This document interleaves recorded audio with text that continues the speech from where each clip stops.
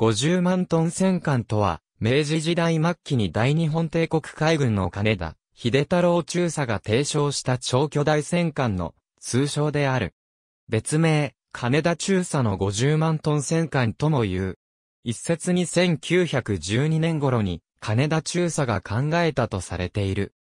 金田は造船技師ではないが、傭兵の専門家であり海軍大学校教官やくれ、海軍交渉長を歴任するなど、海軍の軍艦建造にも関わった人物であった。資源に乏しい日本において、多大な資金と金属資源を消費する軍艦を複数建造することは国家として大きな支出である。そこで海軍軍人の間で軍艦をいくつも建造できないのならば巨大な軍艦を一隻浮かべておけばいいという意見が出始めた。一隻で一国の海軍力に匹敵する大型艦を一隻だけ建造すれば欧米列強に対抗できるというものである。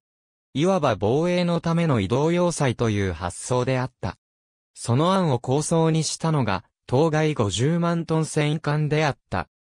その後、いくつもの計算を重ね、望ましい企画が導き出されたが、それによると、波の動揺に関わらず水平を保つために、太平洋の波の波長よりも大きくしようということで、幅91メートル以上という数字が出され、そこから全長を計算した結果、609メートル以上となり、結果的に50万トンという数字になったという。しかしながら、当時はちょうど旧戦艦の時代に入ったばかりであり、戦艦の日本国産化が実現し始めた時期であった。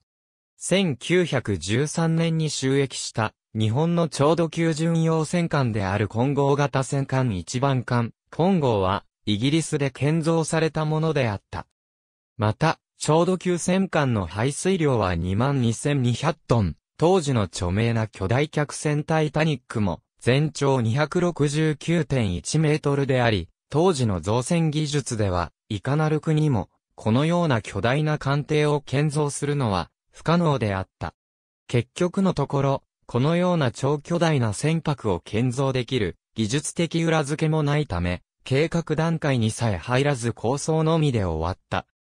後に、戦艦ヤマトを設計した平賀譲る中将は、金田という人は、突飛なことを言い出す。これは、空想的なこともよくあるが、時には大いに参考になる意見もあると言ったという。実際のところ、戦艦一隻の規模を大きくすれば、戦闘力の増大に比して費用は低く抑えることができる。後の世界最大の戦艦である大和型戦艦の建造費用は機密保持のために架空計上された予算を参考にすれば、4万トン級戦艦1隻駆逐艦1隻、潜水艦0.5隻分とされる。